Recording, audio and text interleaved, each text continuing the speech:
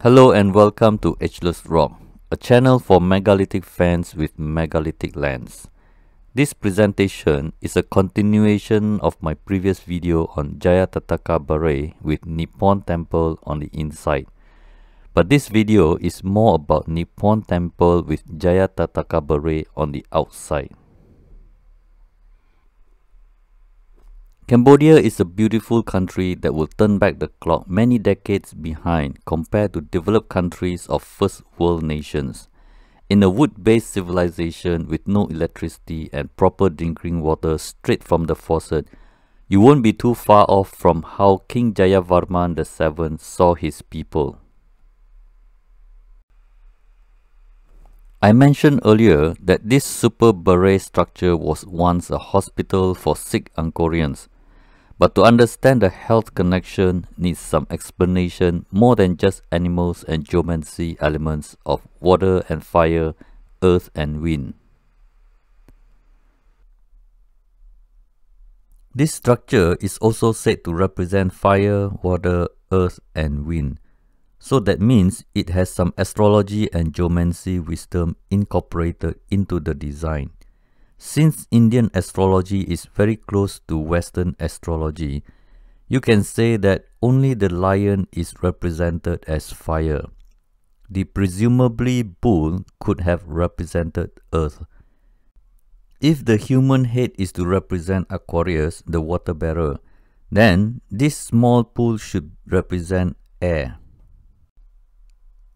To say that this pool represents fire, water, earth and air is incomplete because water is not represented while earth and air is in a limbo. To say that this pool represents Indian astrology is also incomplete because only Simha the lion is represented. Vrisabha the bull for earth is now Kumbha the Aquarius for air. Both will not be able to represent water. Water element is a missing representative. Horse appears in Chinese astrology and elephant is a misfit for both Chinese and Indian astrology. I think mainstream interpretation needs further explanation. Jayatataka Baray is also noted for a special design called Quincunx Formation. These five structures are most likely more than just a coincidence. This formation is very much noted by those who are aware of megalithic cultures around the world. To give you an example, there is a quincunx formation in Yoni Linga at Bhimashankar temple in India. Crop circles are also sending us a message through this formation. There seems to be a message of equilibrium. If you crack five eggs in a shallow bowl, they will arrange themselves into a quincunx formation because it is at equilibrium. Equilibrium is about balancing yin and yang energy. When you are well balanced mentally and spiritually, then you are most likely to be physically healthy. The entire Baray is so vast, it actually looks like a huge natural lake when it is full. It is said to represent the mythical Anavatapta lake where Nanda and Upanda live. Anavatapta is a lake in Buddhist cosmology where it is supposed to have curative abilities. This could be a monument for spiritual and physical healthcare system of ancient Cambodia. In the Buddhist cosmology, Anavatapta Lake is in the center of the world. Interestingly, this mythical land with the mysterious lake was drawn like a Milky Way of our galaxy. I wonder if this is just an impressive coincidence or there is a sacred knowledge from other dimension.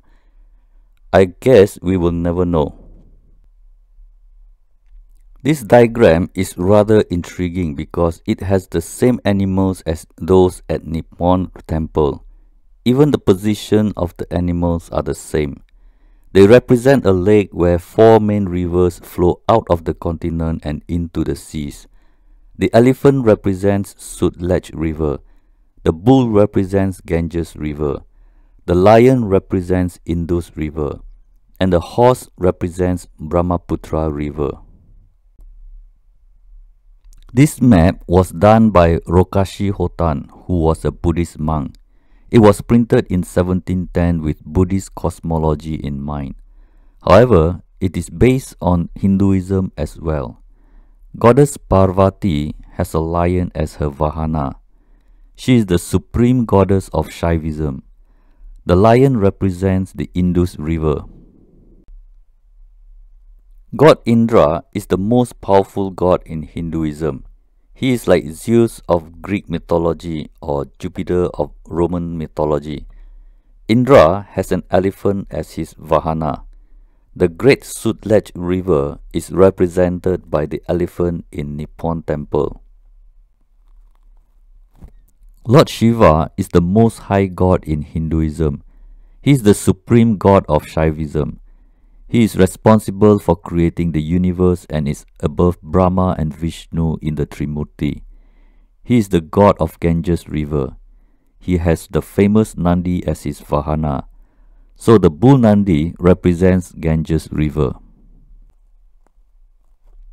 There are several deities with horse as Vahana, but sunrise in the east will make God Surya the best candidate. Surya means sun. Surya is the sun god with seven horses as his Vahana. The horse represents Brahmaputra river flowing to the east. As what I can read from multiple sources, my compilation is only up to this point that makes sense to me. It is very much a Hindu concept as far as religion is concerned. It is very much an Indian territory as far as geography is concerned. So on the surface, it looks like a Hindu temple with Hindu concept as what Wikipedia would say.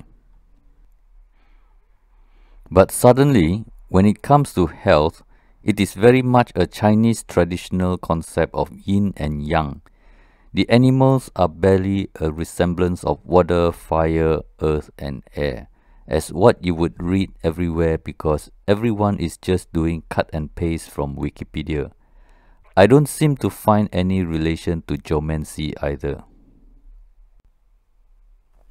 It seems like archaeologists are putting Indian mythology and Chinese geomancy into Jayatataka Baray.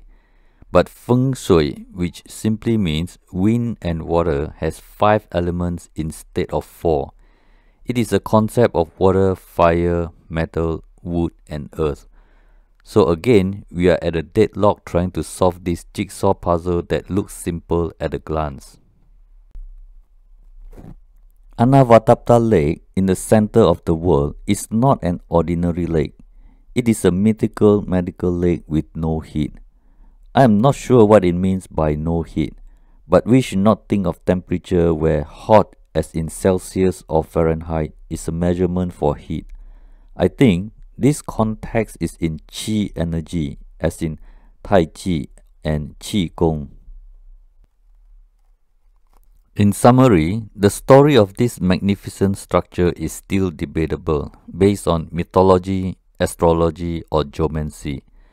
They all have a loophole when you dive into the subject trying to put the puzzles together.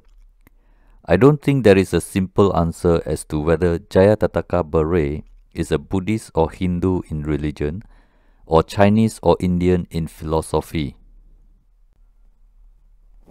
I will end here for now and share more in the next presentation on this structure in relation to health, but more about diet. This is Bernie Ong signing out and have a wonderful day. Hai.